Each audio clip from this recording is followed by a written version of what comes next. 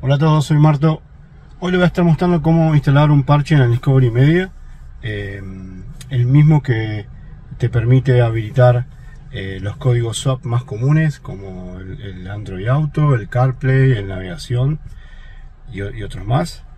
Eh, además también saca el código, el código de la protección de componente y habilita eh, el menú dentro de la opci- opción de off-road.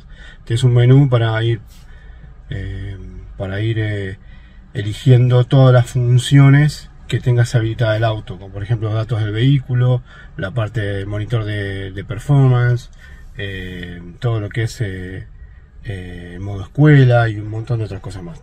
Es un menú que te permite ir cambiando, de, viendo las opciones del auto. Incluso hasta puedes eh, poner todo lo que es el climatronic y demás. Eh, en mi caso voy a poder poner el menú de TPMS, eh, voy a poder poner el menú de PLA y cuando tenga el Line Assist también voy a poder poner el menú de Line Assist, que es donde voy a poder hacer toda la, la configuración desde el Discovery Media. Así que eh, vamos a hacer eso.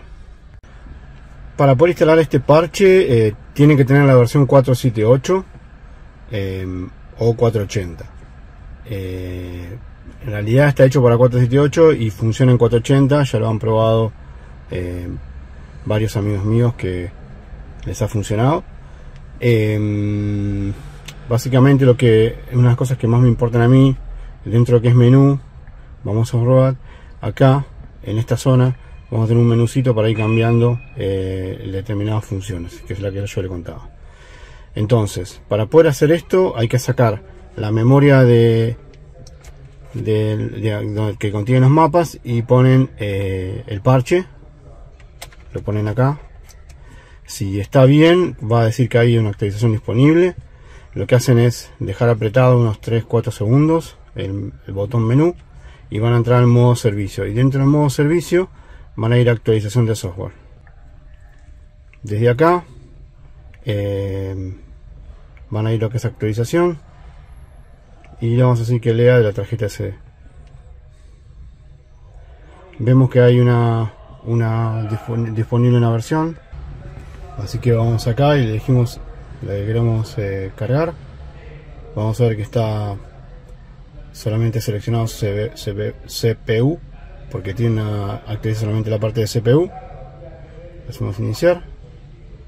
Le damos eh, siguiente. No va atrás la miro bien loco. Se va a reiniciar. Y va a empezar lo que es la actualización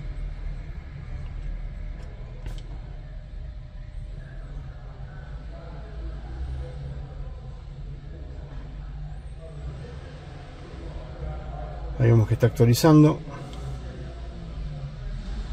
no va a tardar 60 minutos ni loco como ven ya está en 4%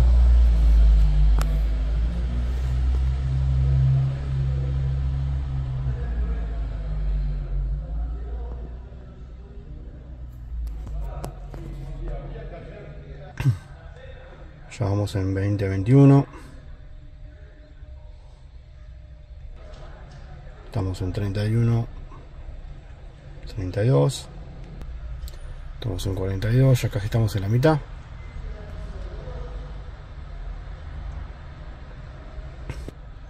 Ya estamos en la mitad. 55. 56. 65 casi 70%, 82, 83, 84, ya estamos casi en el final. Bueno, ahí estamos en 94, 95, 96, estamos por terminar, 99. Dos minutos más o menos, ahora se va a reiniciar.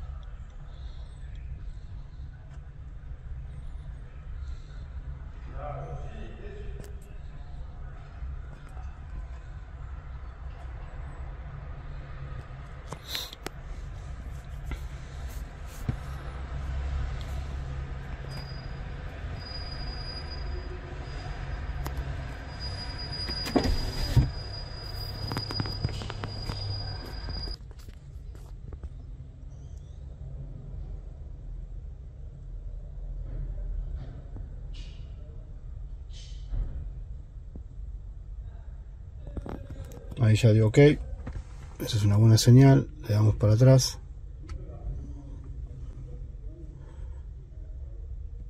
Acá le vamos a dar cancelar.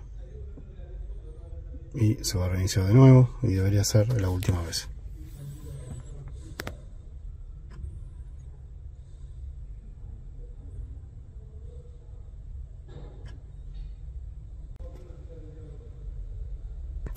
Bueno señores, como ven, ya está habilitado el modo escuela. Por defecto es el que primero aparece.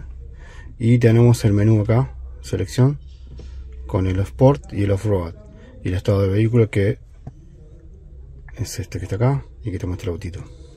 Bueno, acá está abriendo eh, el Android auto que tengo yo.